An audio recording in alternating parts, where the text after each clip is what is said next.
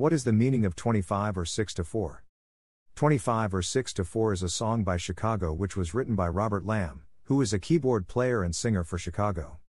Most songs that were written, especially in the early days, whenever I got them to the band and we started rehearsing them, that's when the songs took shape, once these guys got hold of them. There was definitely a lot of raw material, I thought it was a song when I wrote the words down, I wrote the changes down and I brought the charts to rehearsal, but it wasn't really a song until they all played it. This quickly became a showcase song for Chicago's horn section, which featured on many of their hits from the 60s and 70s. Three of the founding members that have been with the band since its inception are trumpet player Lee Loughnane, sax player Walter Parazaider, and trombonist James Pankow. There are a lot of unsubstantiated rumors regarding the meaning behind this song's lyrics. A popular rumor is that 6 to 4 was a nickname for LSD, because if you dropped acid at 6 p.m., the effects of the drug would wear off by 4 a.m., 10 hours later. This still gets a lot of play by college pep bands. The horns and tempo make it a great fit for sporting events.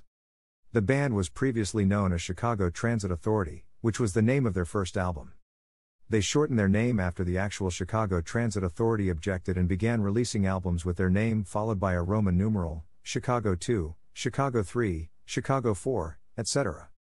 They did this throughout their career, even as they morphed from horn driven rock to adult contemporary ballads, hard for me to say I'm sorry.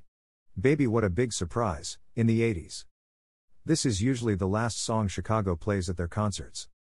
On their tours with Earth, Wind, and Fire, both bands usually play it as the encore. So, what does 25 or 6 to 4 actually mean? It's about trying to write a song, with the title referring to the time of day, either 3:35 a.m., 25 to 4, or 3:34 a.m., 26 to 4. Lamm explained on the Chris Isaak Hour, I was living with a bunch of hippies up above Sunset Strip. One of the advantages of this particular house was that it was in the Hollywood Hills and I could look out over the city late at night. I wanted to try to describe the process of writing the song that I was writing. So, waiting for the break of day, searching for something to say, flashing lights against the sky, there was a neon sign across the city.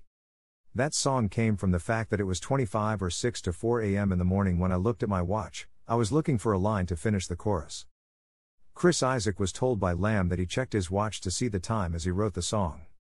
However, Mix magazine reported in 2019 that he had looked at an antique clock on the wall of his 1920s bungalow, which explained his confusion over the minute.